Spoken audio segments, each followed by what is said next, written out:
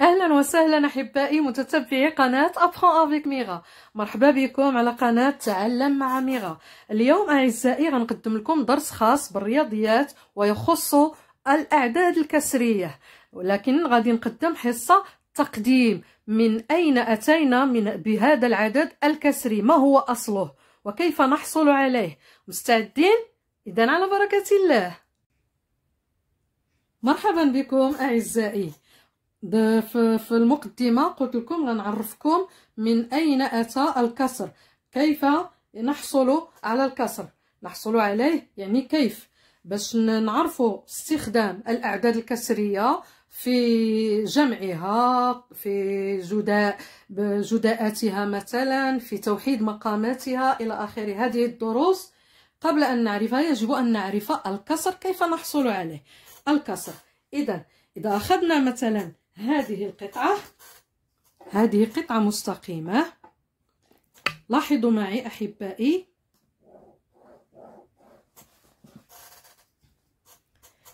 هذه قطعة مستقيمة. ان سيغمون هنا النقطة أ وهنا النقطة ب تابعوا جيدا وسوف تفهمون ما أريد أن أقوله. إذا إذا افترضنا أن هذه النقطة هي المنتصف منتصف. أولا نلاحظ أن هذه القطعة المستقيمة مجزأة إلى جزئين. هذا هو الجزء الأول. ثم الجزء الثاني. هذه القطعة المستقيمة مجزأة إلى جزئين. الجزء الأول من النقطة A إلى النقطة C.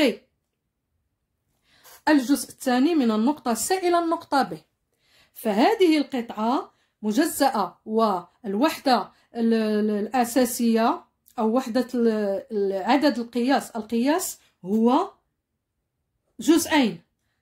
نقوم بوضع خط هكذا ونكتب في الأسفل اثنين. عدد اثنان لأن هذه القطعة مقسمة إلى قسمين. ومن ذلك نقول أن العدد الكسري نحصل عليه عن طريق التقسيم التجزيء. قسمة. إذا عدد الأجزاء نضعه في الأسفل. هذا الأسفل سوف نرى ما اسمه. إذا افترضت آه، يعني طلب مني النقطة الأولى C النقطة C ماذا تمثل في وحدة القياس كلها؟ هذه النقطة ال C تمثل جزء واحد يعني من أ إلى C جزء واحد فقط. إذا أكتب واحد هنا. واحد هنا اثنان. ونقرأ أحبائي نقرأ واحد على اثنان. واحد على اثنان. وتقرأ كذلك قراءة أخرى النصف. تقرأ النصف. فهذا عدد كسري. هذا عدد كسري. العدد الأول يعني واحد يسمى البسط. البسط هكذا اسمه. العدد الموجود في الأعلى يسمى البسط. أما العدد الموجود في الأسفل يسمى المقام. المقام le numérateur le بالفرنسية. البسط يسمى البسط بالعربية بالفرنسية numérateur numérateur numérateur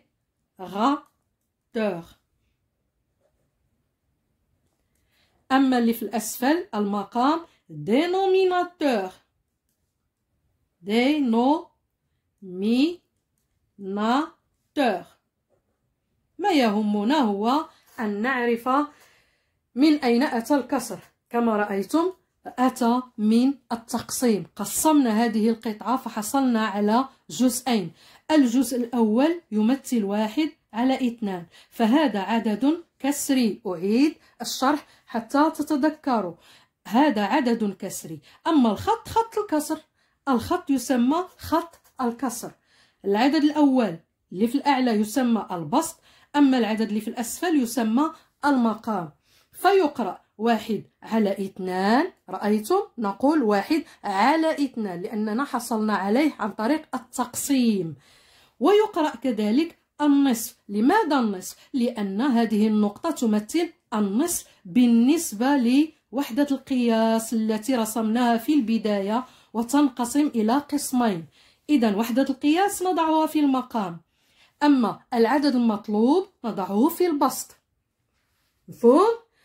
إذا افترضنا أننا نريد النقطة B ماذا تمثل في الرسم؟ فالنقطة B سوف أول شيء نضع لا ننسى أن وحدة القياس لم تتغير. وحدة القياس لا زالت في الأسفل سنضع اثنان لأن ما زال وحدة القياس مقسومة على اثنان إلى جزئين. إذا نضعها في المقام. سوف نحسب لنصل إلى النقطة B. حتى نرى ماذا سنكتب في البسط. إذا من A إلى C جزء واحد. ثم من C إلى B جزء آخر. إذا في المجموع جزئين. واحد اثنان. فنضع اثنان في البسط. ونقول أن النقطة ب تمثل اثنان على اثنان. إذا هذا فيما يخص تعريف بالكسر بأي من أين أتى هذا الكسر وماذا يسمى الرقم الأول والرقم الأسفل؟ اللي في الأعلى واللي في الأسفل. العدد اللي في الأعلى والعدد اللي في الأسفل. أما النقطة أ فتمثل صفر على اثنان. لماذا صفر على اثنان؟ لأننا أحبائي ما زلنا ما قلعناش مازال مازالين عاد في النقطة أ. ليس لدينا أي جزء لا يوجد أي جزء. في النقطة أ فيها صفر. لكن كتبقى وحدة القياس مقسومة على إثنان نضعها في المقام. مفهوم أحبائي؟ الآن غادي نمروا للتطبيق في بعض التمارين البسيطة. لا تقلقوا. اذا أحبائي التمرين الأول كما شرحت لكم على الورقة لاحظوا معي وحدة القياس في التمرين الأول. وحدة القياس كم؟ فيها من الأجزاء. هذه القطعة المستقيمة كذلك. أ د. انظروا كم فيها من الأجزاء. من هنا من نقطة A, A إلى النقطة B B C ثم D إذا كم عدد الأجزاء أحبائي؟ لاحظتم؟ هناك ثلاث أجزاء. واحد اثنان ثلاثة سوف أرسمها حتى تتضح لكم الرؤية. إذا ها الجزء الأول الثاني ثم الثالث إذا إذا أردنا معرفة النقطة مثلا سي النقطة سي كم تمثل؟ ما هو العدد الكسري الذي يمثلها؟ لذلك ماذا سوف نحسب سوف نحسب عدد الأجزاء الكلية وحدة القياس الأساسية. إذا وحدة القياس الأساسية مجزأة إلى ثلاثة أجزاء. واحد اثنان ثلاثة. واحد اثنان ثلاثة.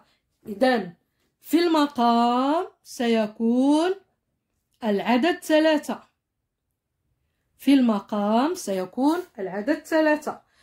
طلبت النقطة سي ماذا تمثل؟ ما هو العدد الذي يمثلها؟ سوف أحسب. إذا ها الجزء الأول الجزء الثاني؟ إذا المقام سوف أكتبه في اثنان.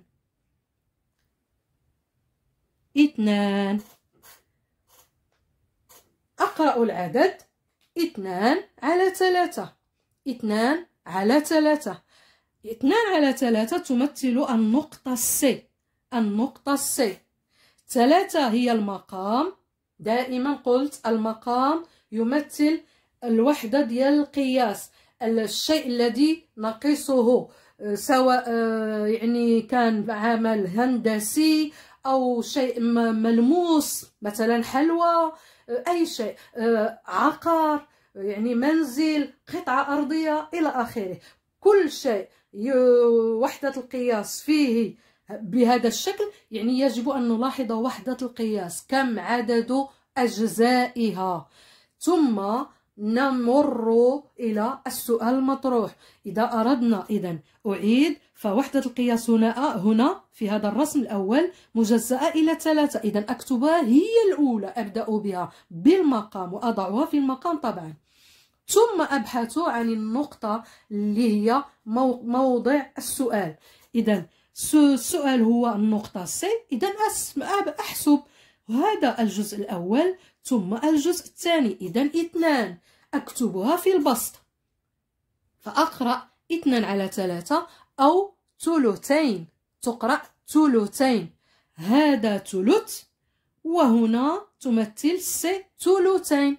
يعني اثنان. ثلث واحد. ثم الثلث الثاني. اثنان على ثلاثة. للتذكير. اثنان هي البسط ثلاثة المقام. سوف أكتبها مرة أخرى للتذكير. البسط. ثم المقام. البسط في الأعلى والمقام في الأسفل. نمر للقطعة الثانية. وحدة القياس أ إي. مجزأة إلى كم من الأجزاء؟ واحد اثنان ثلاثة أربعة. إذا أردنا النقطة F. النقطة F ماذا تمثل؟ أعيد. القطعة مجزأة إلى أربعة أجزاء. الجزء الأول EF الجزء الثاني EFG الجزء الثالث GH الجزء الرابع E.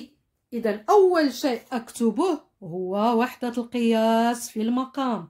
أربعة. أربعة أجزاء. واحد اثنان ثلاثة أربعة. إذا طلب مني النقطة F ماذا تمثل؟ كم عدد آه، النقطة F يعني كم سأكتب ككسر سوف أحسب. E F جزء واحد. إذا أكتب واحد هنا. وأقرأها واحد على أربعة أو ربع. ربع. تقرأ. واحد على أربعة أو ربع ربع. ربع فالنقطة F تمثل الربع إذا افترضنا نسأل عن النقطة H. نعود ونحسب من الأول. ثم لا ننسى أن نضع وحدة القياس. لم تتغير. وحدة القياس لاحظوا معي لم تتغير. مكونة من أربعة أجزاء. واحد اثنان ثلاثة أربعة. أضعها في المقام. أربعة.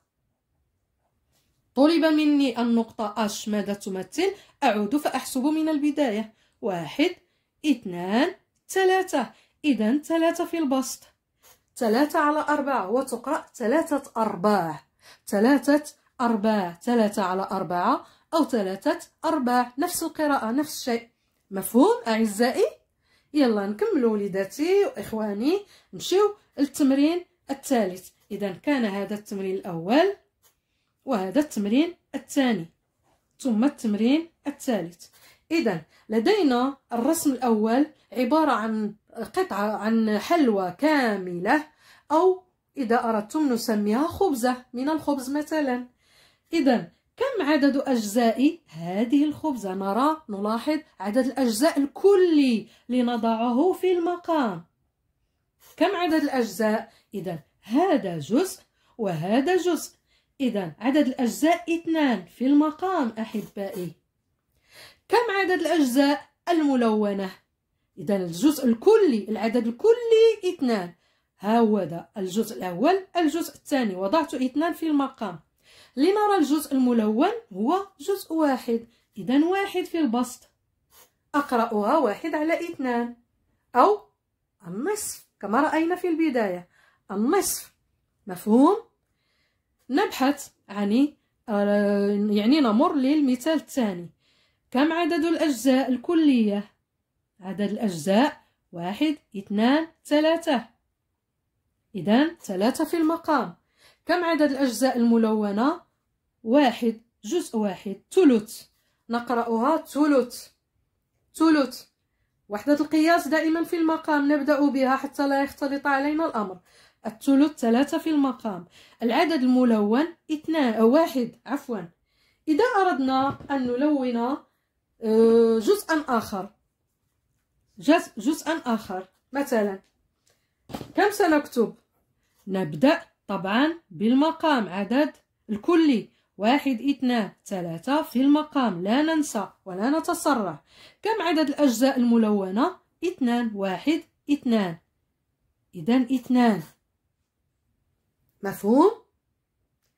نمر للرسم الثالث. لاحظوا أحبائي نفس الرسم القرص مجزأ إلى كم من الأجزاء؟ عدد الأجزاء واحد اثنان ثلاثة أربعة. كنشوفوا عدد الأجزاء الكلية الكل. أربعة. في المقام أربعة. عدد الأجزاء الملونة واحد اثنان ثلاثة فقط. إذا ثلاثة أجزاء. ونقرأها ثلاثة أرباع ثلاثة على أربعة أو ثلاثة أرباع مفهوم أعزائي؟ نمر للتمرين الثالث لأن الوقت يداهمنا. إذا رسمت خانات عدة خانات. دائما أحبائي نبدأ بالوحدة الأساسية وحدة القياس الكلية. وحدة القياس. إذا نحسب عدد الخانات. واحد اثنان ثلاثة أربعة خمسة ستة سبعة ثمانية تسعة. إذا عدد الخانات تسعة في المقام. ما نبداوش بالملونين. لا كنبداو نكتبو عدد الكلي الكلي كنكتبوه في المقام. ثم نمر إلى العدد الملون. واحد اثنان ثلاثة أربعة خمسة. إذا خمسة على تسعة. خمسة على تسعة أو خمسة من تسعة. لكن الكسر هو عبارة عن قسمة فنقرأه خمسة على تسعة. المثال الموالي. عدد الخانات الملونة الكلي العدد الكلي أربعة والأربعة ثمانية في المقام. الملون خمسة خمسة أتمان. خمسة على ثمانية أو خمسة أتمان. مفهوم؟ بغينا نزيد مثلا خانة أخرى. نضيف خانتين. إذا ما ندهشوش فالعدد الكلي نبدأ به. لم يتغير. ثمانية. لكن العدد المطلوب الملون أربعة وثلاثة. سبعة. سبعة على ثمانية. سبعة على ثمانية أو سبعة أتمان أخيرا أحبائي المثال الأخير. انظروا كم عدد أجزائه. واحد اثنان. نضعه في الأسفل. هناك جزئين فقط. اثنان في المقام. عدد الأجزاء الملونة واحد فقط. واحد على اثنان أو نصف كما قلت سابقا. إذا هذا فيما يخص تقديم العدد الكسري. قدمت لكم العدد الكسري من أين أتى وبماذا يسمى العدد الأعلى والعدد اللي في الأسفل حتى نرى في الدروس القادمة بإذن الله كيفية مقارنة أعداد كسرية. مقارنته أيهما أكبر وأيهما أصغر أو ترتيبها أو إنجاز عمليات على الأعداد الكسرية. لابد من الانطلاق من هذا الدرس تقديم العدد الكسري أولا. إذا أحبائي أه ما تنساوش أه الاشتراك الضغط على زر الاشتراك البارطاج تقاسم يعني الفيديو إذا أعجبكم. أتمنى أن تكونوا قد استفدتم من هذا الدرس. وحصص حصص المقبله إن شاء الله. غادي تشوفوا أشياء أخرى واللي كتصعب عليكم كتلقاو فيها التباسات. ما تنساوش الضغط على لايك وإلى ذلكم الحين.